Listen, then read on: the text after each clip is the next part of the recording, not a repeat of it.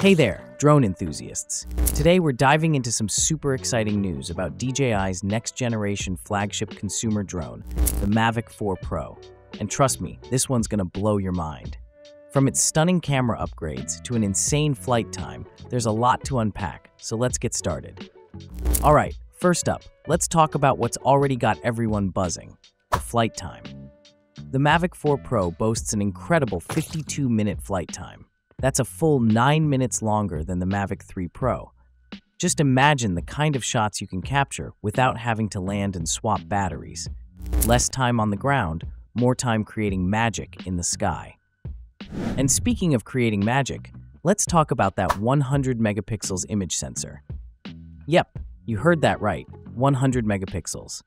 While we know more megapixels don't always mean better quality, we can't wait to see what DJI has cooked up with this one. Pair this with a potentially larger sensor, and you're looking at some serious imaging power for both photo and video enthusiasts. But here's where it gets really cool. Stepless electronic ND filters. No more swapping out filters mid-flight to get that perfect exposure. The Mavic 4 Pro does it all electronically, saving you time and hassle while ensuring your shots look flawless. Now, let's talk about control. The DJI RC2 is rumored to come bundled with the Mavic 4 Pro. This remote features a built-in 5.5-inch display with 700 nits of brightness, perfect for those sunny outdoor shoots. Plus, it's fully compatible with OcuSync 4 Plus, DJI's latest image transmission technology. OcuSync 4 Plus promises even better range and live view quality, which is a huge deal for pros and enthusiasts alike.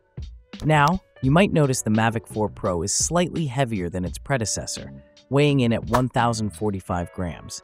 That's because of the larger camera module and the new ND filters.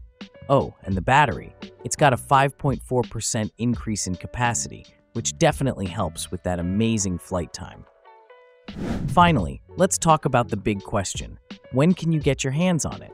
The rumors point to an April 2025 release date, but with the recent FCC filings and leaks, we wouldn't be surprised if it drops even sooner. Fingers crossed. So, what do you think of the Mavic 4 Pro so far? Are you as excited as we are about these game-changing specs? Drop your thoughts in the comments below, and don't forget to hit that like button if you're hyped for this drone. Subscribe to the channel so you don't miss any updates. Until next time, happy flying.